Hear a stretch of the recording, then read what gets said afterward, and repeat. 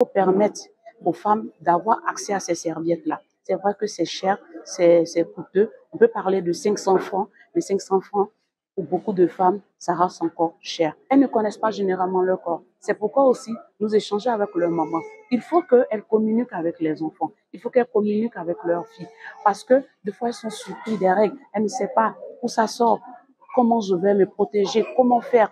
Donc, en tant que mère, il faut qu'elles soient à l'aise aussi avec le sujet. C'est pas du tout évident pour nos mamans, mais il faut briser ce mur du silence qui entoure en fait ce cycle menstruel.